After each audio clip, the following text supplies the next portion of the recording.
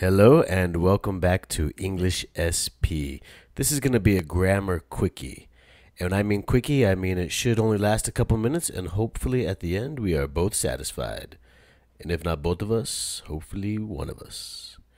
Cool. So today we're going to be talking about the difference between for and to. This is the second part of a preposition series I'm doing.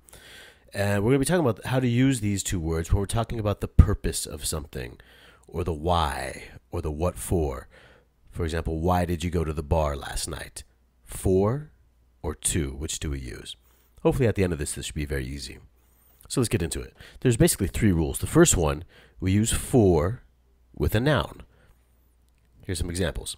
We went out for a few drinks. It's a noun.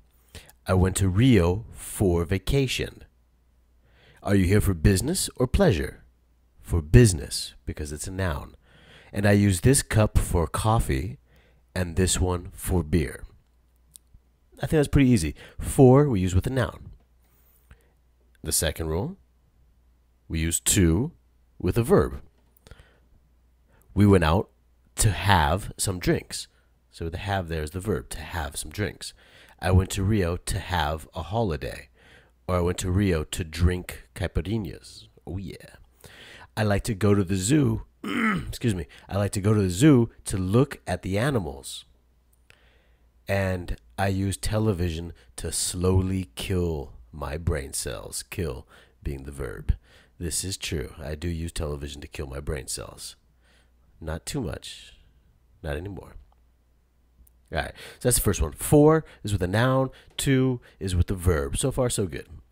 And the third one, for plus the verb plus the ing. This is called a gerund, and so when we turn the verb into a noun using the ing. But don't worry too much about that. Basically, soap is for cleaning. Cleaning, for cleaning. And soup is for eating. It's, do not confuse these two things. Do not clean with soup and eat soap. I use public transportation for getting to and from work. For getting. We use the small towel for drying the dishes.